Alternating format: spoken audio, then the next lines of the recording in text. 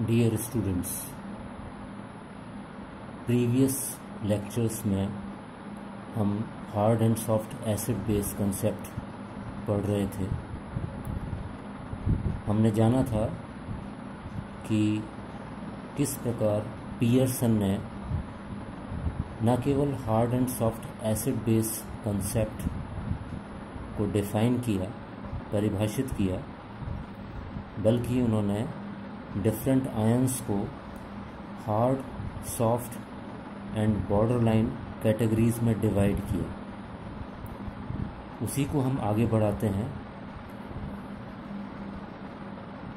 Next aspect है acid base strength and hardness and softness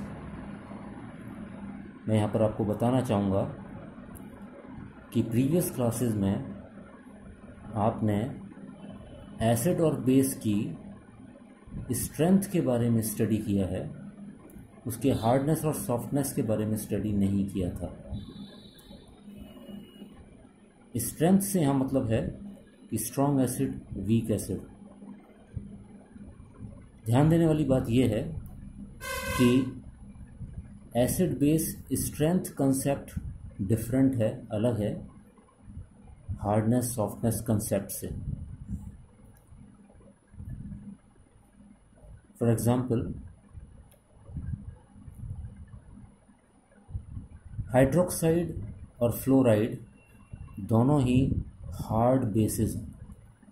According to Pearson H S C B concept hydroxide और fluoride both are hard bases लेकिन अगर इन दोनों basis की strength की तुलना की जाए मतलब इनमें से कौन प्रबल क्षार है, कौन दुर्बल क्षार है तो हम पाएँगे कि बेसिसिटी वाइज या strength wise hydroxide ion fluoride ion की तुलना में ten raise to the power thirteen times ज़्यादा बेसिक है या स्ट्रॉन्ग बेस है। इसी तरीके से एक और एग्जांपल हम लें सल्फाइड एंड ट्राइथाइल फॉस्फीन या ट्राइथाइल फॉस्फोरस ये दोनों के दोनों पियर्सन कंसेप्ट से सॉफ्ट बेसिस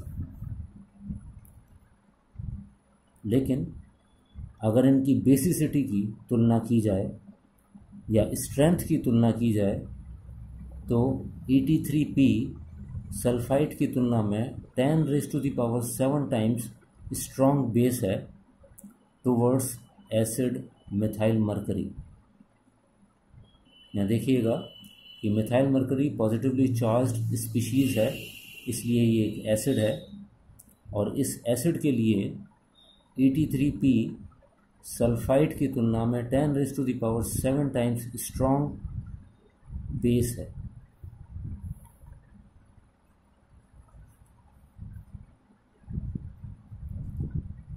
स्ट्रॉन्गर एसिड या बेस वीकर एसिड या बेस को रिप्लेस कर सकते हैं। और ऐसा होने पर H S C B concept गलत साबित हो सकता है। फॉर एग्ज़ाम्पल यहाँ मैंने ये दो एग्ज़ाम्पल्स दिए हुए हैं। पहला एग्ज़ाम्पल है जहाँ पर कि सल्फाइड जो कि एक सॉफ्ट बेस है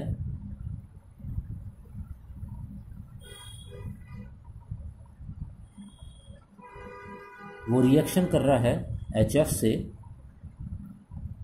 जहाँ पर एच प्लस एक hard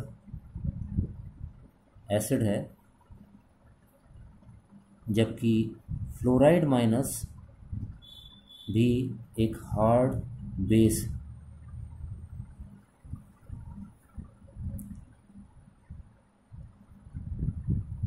sulphide sorry SO three two minus sulphide जो कि एक सॉफ्ट बेस है, वो एक स्ट्रॉन्ग बेस भी है।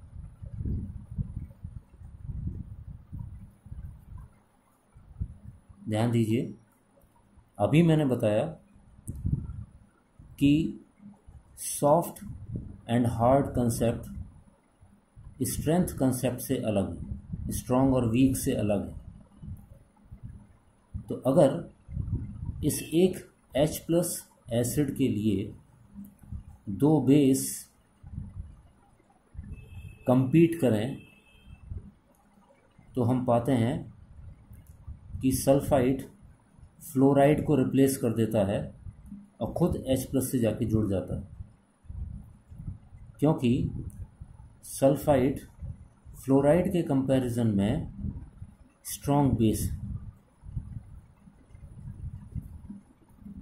फ्लोराइड एक वीक बेस यहाँ पर हार्ड एसिड ने हार्ड बेस के साथ बॉन्ड बनाया हुआ था। तो पियर्सन के अकॉर्डिंग ये स्पीशीज़ स्टेबल स्पीशीज़ थी या ये मॉलिक्यूल स्पेशल स्टेबल मॉलिक्यूल था स्थायी मॉलिक्यूल था और इसको ये टूटना नहीं चाहिए था। क्योंकि जब ये रिएक्शन फॉरवर्ड डायरेक्शन में होती है, जो कि इसकी K equilibrium ten raise to power four बताता है कि ये रिएक्शन फॉरवर्ड डायरेक्शन में होती है। उस केस में एच प्लस एक हार्ड स्पीशीज़ है और सल्फाइड एक सॉफ्ट स्पीशीज़ है। ये बॉन्ड कम स्टेबल होना चाहिए था लेस स्टेबल होना चाहिए था।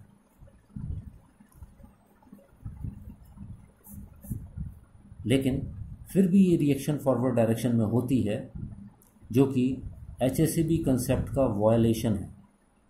यानी एच एस कंसेप्ट इस पर लागू नहीं हो रहा है। उसका उल्टा हो रहा है। उसका रीज़न है कि एक स्ट्रॉन्गर बेस ने एक वीक बेस को एसिड से रिप्लेस कर दिया। इसी तरीके से यहाँ पर भी हाइड्रोक्साइड एक हार्ड बेस है। इसके अलावा ये एक स्ट्रॉन्ग बेस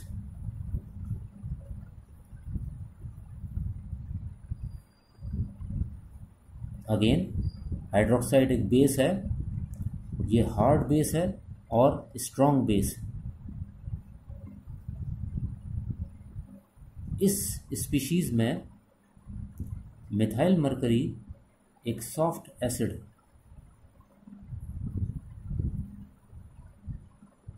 जबकि सल्फाइड एक वीकर सॉफ्ट बेस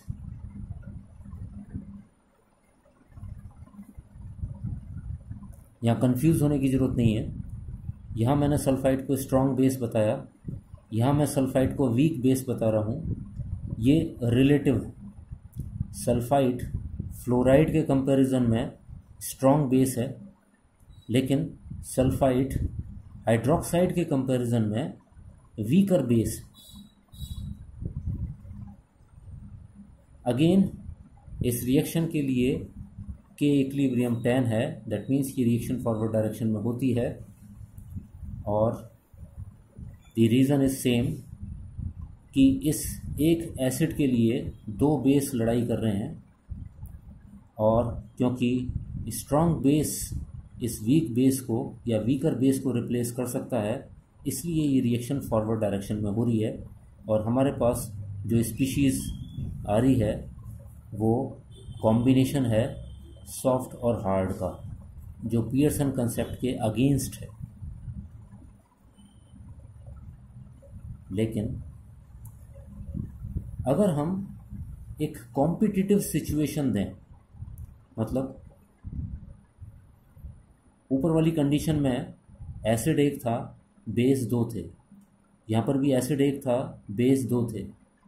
लेकिन अगर हम कंडीशन ऐसी दें कि दो एसिड हों और दो बेस हों, ये एसिड है, ये एसिड है, ये बेस है और ये भी बेस है।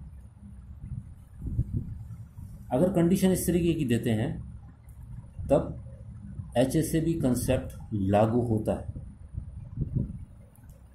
H S A B concept prevails से फॉर एग्जांपल मिथाइल मरकरी एक सॉफ्ट एसिड फ्लोराइड एक हार्ड बेस एच प्लस एक हार्ड एसिड और सल्फाइड एक सॉफ्ट या सॉफ्टर बेस है।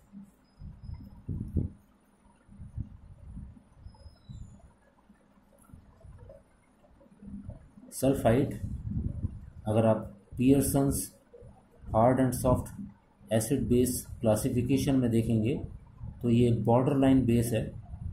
लेकिन यहाँ पर मैं इसको सॉफ्ट बेस बोल रहा हूँ। इससे कंफ्यूज होने की ज़रूरत नहीं है, क्योंकि ये फ्लोराइड के कंपैरिजन में सॉफ्ट है, इसलिए इसको मैंने कहा softer base instead of soft base जिससे कन्फ्यूज़न ना हो. इसको मैंने सॉफ्टर बेस कहा आप इसको सॉफ्ट बेस भी लिख सकते हैं। इस केस में हम देख रहे हैं कि कॉम्बिनेशन सॉफ्ट हार्ड और हार्ड सॉफ्ट का है। इसलिए ये रिएक्शन फॉरवर्ड डायरेक्शन में होती है। इसके लिए K equilibrium value tens power three है। इट प्रूव्स कि ये रिएक्शन फॉरवर्ड डायरेक्शन में होती है और हमें सॉफ्ट सॉफ्ट और हार्ड हार्ड का कॉम्बिनेशन मिलता है।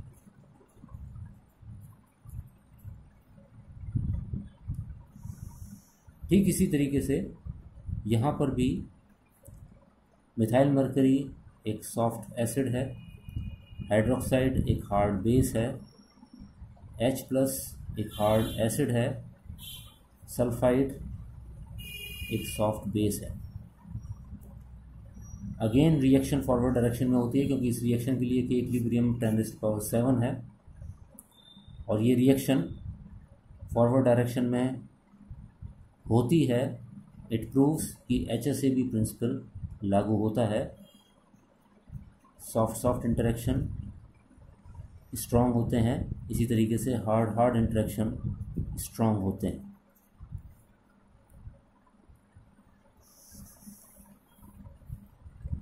Acid base strength and hardness and softness को बताने के लिए और दो पैरामीटर्स हैं जिनको हम नेक्स्ट क्लास में स्टडी करेंगे।